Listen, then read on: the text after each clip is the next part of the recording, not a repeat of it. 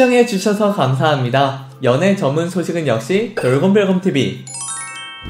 안녕하세요. 돌곰별곰TV입니다. 이번 시간은 트바로티 김호중 씨에 대한 소식을 전해드리겠습니다. 첫 번째 소식입니다. 김호중 씨가 연일 화제를 모으고 있는 가운데 김호중 씨의 군대 훈련소 이야기가 재조명되며 눈길을 끌고 있습니다. 지난 20일 김호중 씨는 시간이 안 가는 것 같았는데 눈 떠보니 오늘이 퇴소일이었다 라며 유쾌한 모습을 보였는데요. 맞습니다. 군대에선 그런 매직이 있죠. 평소엔 시간이 참 안 가는데 퇴소를 할 때나 저녁을 할 때가 되면 뭔가 시간이 확 지나간 것 같은 그런 홀가분한 느낌이 듭니다. 이러한 부분을 김호 중 씨도 느꼈던 것 같네요. 이어서 김호중 씨는 군대에서 먹었던 군대 밥에 대해서도 입을 뗐는데요. 살이 오히려 쪘다면서 호기심 반, 걱정 반이었는데 음식이 너무 맛있더라. 아귀탕부터 몸에 좋은 유산균 음료까지 고퀄리티 음식들이 나왔다. 특히 맛다시를 정말 많이 먹었다. 맛다시만 있으면 밥을 두세 공기 먹고 오늘도 아침부터 맛다시에 밥을 먹고 챙겨서도 나왔다. 3, 4kg 정도 찐 것 같다. 라며 웃어 보였습니다. 야, 그래도 다행이네요. 김호중 씨 혹시나 훈련소에서 지내는 동안 좀 야위게 되지 않을까 걱정을 하는 팬분들이 정말 많았는데 잘 지내 고 온 것 같아 정말 다행입니다. 앞서 김호중 씨는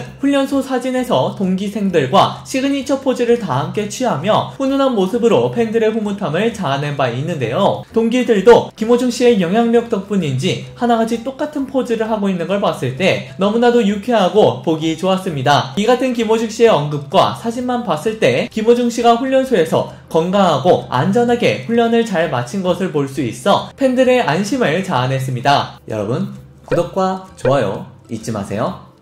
한편 라이프 스토리 채널 tvN 스토리가 지난 5월 1일 개편 특집 프로그램을 공개하며 TV 최초로 편성되는 그대 고맙소 김호중 생의 김호중 생의 첫 팬미팅 무비가 방영되면서 김호중 씨가 군복무 중임에도 계속해서 화제가 되고 있는데요. 앞으로 김호중 씨의 남은 군복무 기간 동안 또 어떠한 화제거리가 팬들을 즐겁게 할지 기대를 모으고 있습니다. 두 번째 소식입니다. 김호중 씨의 짝사랑 영상이 뜨거운 인기를 입증했는데요. 지난해 2월 TV조선 공식 유튜브 채널에 김호중 짝사랑 살랑살랑 호중나비 날아갑니다. 내일은 미스터 트롯 9회라는 제목으로 업로드된 영상이 100만 조회수를 돌파했습니다. 이 영상에는 내일은 미스터 트롯에서 짝사랑을 부르는 김호중 씨의 모습이 담겨 있는데요. 해당 영상은 꾸준한 인기로 드디어 100만 뷰를 돌파하게 되었습니다. 이어서 댓글 이벤트를 진행하도록 하겠습니다. 먼저 김미영님의 댓글입니다. 팬덤 10만 7천 명 현재 진행형 복무 해제될 쯤 20만 가자 라고 댓글을 남겨주셨습니다. 다음은 김태환님의 댓글입니다. 수고하십니다. 지금 방금 TV에서 보았습니다. tvN 스토리에서 아니다. 그대 고맙소. 영화관에서 보았지만 지금 안방에서 보니 감회가 새롭네요. 이 기분 무엇에 비할까요? 호중님 사랑해요 라고 댓글을 남겨주셨는데요. 야, 저도 그 편성 프로그램 봤는데요. 시작하고 끝까지 보는 내내 입만 벌리고 멍 때리면서 그저 바라만 봤던 기억이 납니다. 이어서 이소프라노님의 댓글입니다. 김호중 가수님, 대체 불가의 독보적인 가수죠. 그의 팬덤이 자랑스럽기까지 하답니다. 어서 빨리 제대해서 모든 매체에서 그의 활약을 보고 싶습니다.